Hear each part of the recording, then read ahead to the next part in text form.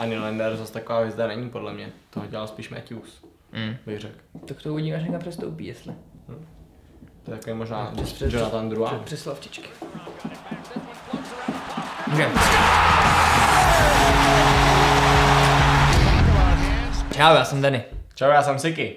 Vítejte u Icingu, další díl hokejového vzdělávání. Takže sázka Dallasu je očividná. Věří, že ke Stanley Cupu jede dlouholetá smlouva s Tylerem Segínem a dlouhodobá smlouva s Jamie Benem. Je to dobře? Já myslím, že jo, ale dala velký otazník v posledních letech, v posledních sezónách, protože Tyler Seguin, Jamie Benn, a kvalita tam je fan- fantastická. Chtěl ty dvou určitě. Určitě, tady ty dva útočníci, elita ligy, Tyler Seguin a podepsal novou smlouvu a já si myslím, že Dallas nemohl udělat lepší rozhodnutí. Zaplatili mu hodně peněz, ale Tyler Seguin z mýho pohledu uh, jeden z pěti nejlepších hráčů v lize a je to opravdu komplexní hráč, může hrát uh, přesilovku, oslabení, hra 5 na 5, fantastický. Výborný bruslář, výborná střela, Góly, technika. asistence, střelba, všechno má pokrytý, přesně. Nevím, koho bych zařadil před něj, pohledu- co se střelců týče. Jako Nikoho, střelců. nikoho v dlouhodobě, když to počítám třeba posledních pět let, nikoho, myslím si, že v poslední době maximálně třeba McDavid, uh, Line, Matthews a možná McKinnon, ale ta Segina bych řadil ještě na dně, jo, za Ovečkina přímo, jako co týče Já bych asi dal, co se, co se týče střely, tak bych dal Ovečkin, Line, Segin. Jo, Mac, McKinnon a McDavid výborní střelci, ale tam je to spíš bych řekl jakoby o, o technice a o tom, jak to jsou, jaký to jsou hokejisti. Tyler je vyložený, vyložený gólostroj, jako no. Řekl bych, jo. Jo, jo. McKinnon, McKinnon, McDavid a ještě třeba Sidney Crosby, tak tady ty hráče bych dal do stejné kategorie s tím, že to jsou výborní hokejisti a jsou to playmakeri a dokážou ten gól dát. Oproti Ale Tylerovi co se střely přesně. týče, tak uh, Segin, Line, Ovečkin, tady to trio, tady to trio. Uh, Austin Matthews ještě. Austin Matthews a Jack Eichel umějí vystřelit fantasticky, ale Ne, no, ještě nedosahují, ještě- ještě ně, trošku níž, ještě Line. Ovečkin, Segin určitě. uh, Takže ale teď se nabízí otázka, teda, že oni je podepsali na dlouhou, dlouhou jako dobu, do budoucna, věří, že je prostě k Stanley Cupu poslední, na, dalších, na dalších pět let jsou podepsaný oba dva, že? Přesně, ale poslední čtyři roky už spolu hrajou v Dallasu a ke Stanley Cupu to nevedlo, takže tak. co zlepšit, aby je teda ta dvojice k tomu Stanley Cupu konečně dotáhla, ten Dallas.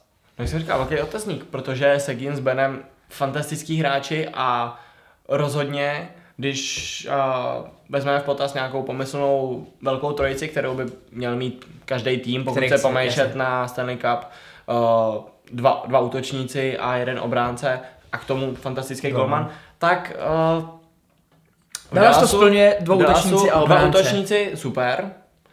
Loni k tomu přibyl John Klingberg, výborný ofenzivní, výborný Právě, ofenzivní ale ne obránce, komplexně ještě. Ale mm, myslím si, že může, může být, má tam ten, má tam ten Potenciál má. potenciál stát se opravdu elit, elitou ligy, i co se obraný fáze týče. A Golman. Ben Bishop, jeho druhá sezóna v Dallasu, myslím si, že Ben Bishop by mohl být eh, odpovědí. Tam, tam, bych, A- tam, bych vůbec, tam bych vůbec nespekuloval, já si myslím, že odpověď je, protože byl schopný dotáhnout Tampu uh, do finále konference, má zkušenosti z do playoff. finále konference, ale i do, Do finále, do do finále. Stanley Cupu. Mluvám se, prostě jako tenhle ten frajer je schopný, je Veziny. přesně, je schopný i toho Stanley Cupu dosáhnout. Tam bych problém neviděl. skvělý. Já si Ale myslím, trošku, že trošku problém v celkový, v celkový defenzivě Dallasu, ne? To je- Možná v, v tom, jak hrajou, že, že se více soustředějí na, prostě na na, útok. na útok a, A ob, ke Stanley Cupu to obraný, ten obraný systém ještě, tam, tam možná jsou mezery. Tam jsou, tam jsou mezery. Tam jsou mezery. A myslím si, že ta mezera se může zaplnit tím, co tam teďka přišlo do obrany za tenhle rok. Mladý obránce finský Miro Heiskanen. Ale taky spíš ofenzíva. ne? Je to ofenzivní, ale prostě jako na, někoho nau, úto, naučit útočit je dost těžký. Naučit někoho bránit, to podle mě jde. Takže jako v tomhle směru si myslím, že s mladými obráncemi je tam ještě Esa Lindell, Julius Honka. Tyhle ty frajeři můžeš je naučit prostě jako podle mě bránit a jde, a jde to. Myslím si, že tady bude zásadní, zásadní otázka za mě teda. Po této sezóně končí smlouva s Pecovi. Bere 7,5 milionů. Pravdě, ne, byl by velký překvapení pro mě, kdyby prodloužil v Dallasu teda, upřímně Asi jo. Tyhle ty peníze využít smysluplně na doplnění druhého útoku, aby to měli víc rozvrstvený. A, a pak si myslím, že to je opravdu jeden z, jako z velkých favoritů. Pokud uh, ta křivka toho výkonnosti obránců Dallasu pojede furt nahoru, tak si myslím, že, že budou mít na následujících třeba 6-7 sezón fakt jako ve Stanley Cupový okýnku, čeho budou moc bez problémů získat. Já bych ty obránce, které tam teďka jsou, využil trošku jinak. Říká posílit útok, jo.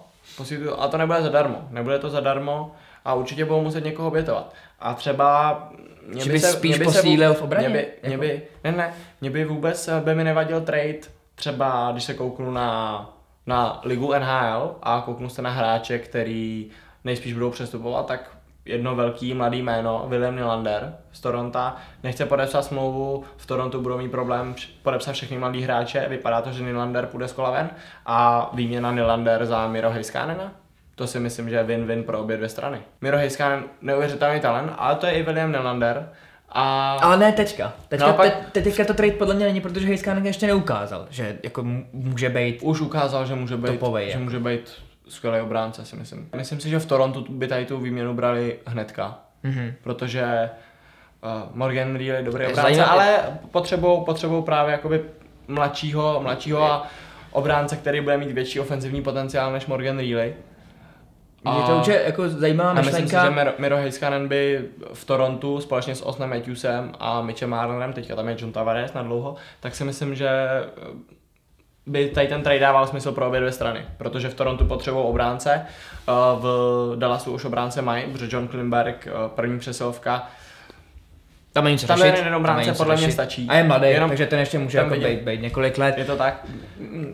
Souhlasím. Tady ten trade souhlasím. se mi líbil, pro obě souhlasím strany. s tím, že musí, pot, že musí posílit uh, v útoku, aby měli třeba i druhou lineu víc uh, konkurenceschopnou.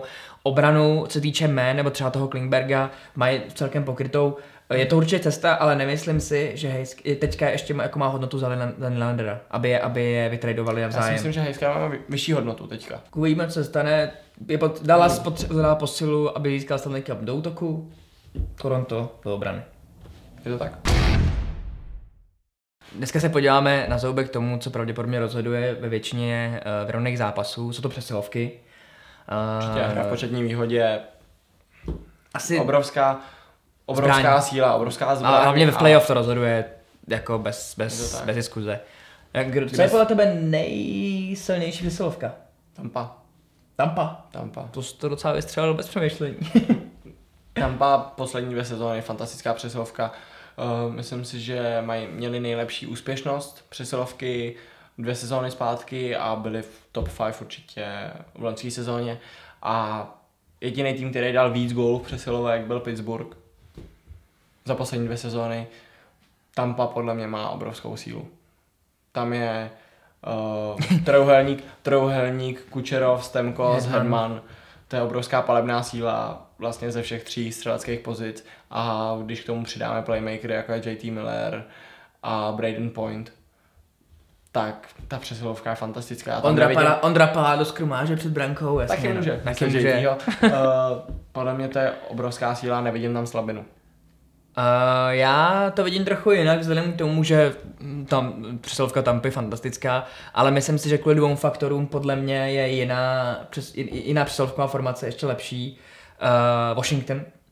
Mm-hmm. První, první důvod je ten, že tam je uh, Ovečkin, což je podle mě nejlepší hráč přesilovky v celé lize. Prostě ta rána jeho z levého kruhu je prostě něco fenomenálního. V tom tě asi nebudu odporovat. Prostě to je, tam se jako těžko hledá lepší hráč, který ti dá gol z přesilovky. A druhá, prostě vyhráli Stanley Cup v poslední sezóně. No, ale to moc nesouvisí s jejich přesilovkou. ne? No, nesouvisí, myslím si, že přesilovka je jako klíčová k tomu, aby z toho dosáhnout, samozřejmě, kromě spousty jiných faktorů, ale oni mají ustálenou, že Backstream, Kuzněcov, TJ Ouši, všichni mají, eh, a samozřejmě John Carlson na vrcholu, to je fantastická pětice, která je sehraná. To tak. Uh, kreativní, zároveň top střelec, fantastický obránce, který ti rozehrává a TJ Ouší právě do skrumáže před bránkou, kde on se cítí jako ryba ve vodě. Myslím, že fantastická přesilovková formace. Jediný, co bych vytknul tady té přesilovkové formaci, je, že tam chybí druhý střelec Kovečkinovi. Mm. Kuzněcov, Backstream, Jo, na pravé straně té přesilovky. Tam se dá očekávat ta přihrávka, tam ta střela moc často nepřijde. Ale myslím, je to, že je to podle mě lehčí, je to je to lehčí pro ty, no ale je to lehčí pro ty obránce, protože třeba u té Tampy se musí soustředit na obě dvě strany. Tady je přece jenom u, u Washingtonu si myslím, že je lehčí pro ty týmy Všichni se vědí, soustředit na- kam to- kam na to Ovečkina, na Ovečkina. tak.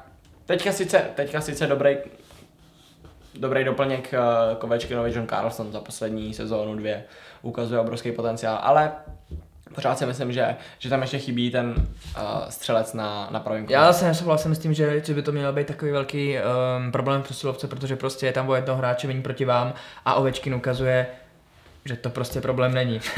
Je to tak, jako Ovečkin a fantastický střelec. Tam, tam není o čem. Když jsme naťukli ty přesilovky, kde hrajou ty největší hvězdy toho týmu, uh, tak se podíváme na to, kdo bude uh, nejužitečnější hráč tenhle ten rok. Takže kdo dostane tvůj hlas? Um, bude těžký říct jedno jméno. Nejlehčí a, a ta nejvíc, nejvíc uh, Obvious jasná volba varianta. Uh, je asi Conor McDavid. A není to jenom proto, že to je fantastický hráč, ale je to hlavně proto, že na něm stojí Edmont, stojí a padá Edmont. V Edmontonu není nikdo jiný, kdo by mu pomohl ten tým táhnout.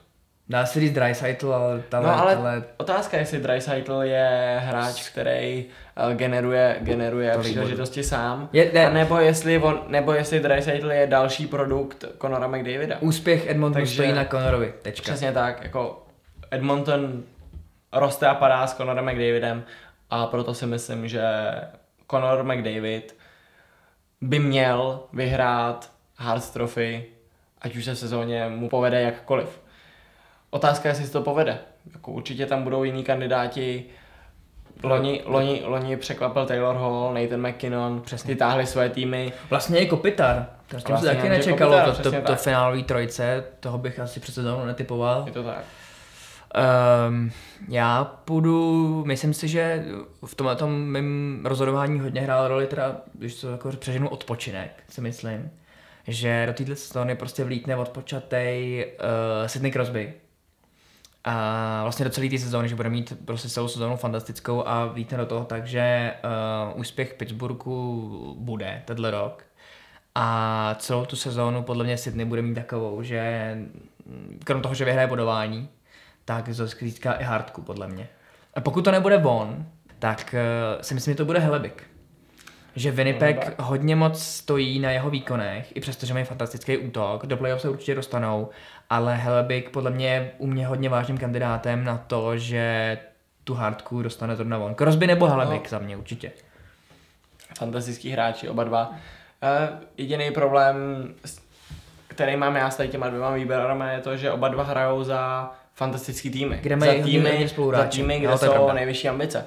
A je těžký v týmu jako je Winnipeg, kde hrajou útočníci jako Wheeler, Wheeler Scheifele, Line, uh, obránce Bufflin, tak ten tým je komplexně postavený natolik dobře, že bude těžký vypíchnout jednoho hráče, kvůli kterému ten tým uh, by byl nějak výrazně lepší. To je pravda, minulý rok tam byli samý, tři hráči, kteří vlastně táhli sami ten Přesně manšaft. tak. A to samý, to samý se dá říct podle mě i o Sidney Crosby, protože ten se dělí o... S Malkinem, jasně, no. O svoji důležitost v tom týmu. Samozřejmě nechci snižovat uh, Sidneyho Crosbyho a jeho důležitost pro pro Pittsburgh. Takže když se bavíme o základní jo. části, tak uh, proto si myslím, že Sidney Crosby ani Conor Hellebuyck. A, a po, po, uh, podle tebe teda po Conorovi, McDavidovi na druhém místě třeba právě Hall no, pokud, nebo McKinnon? Pokud zopakuje lenskou sezónu Tyler Hall, tak si myslím, Hall. že klidně Tyler Hall znova, nebo Nathan McKinnon.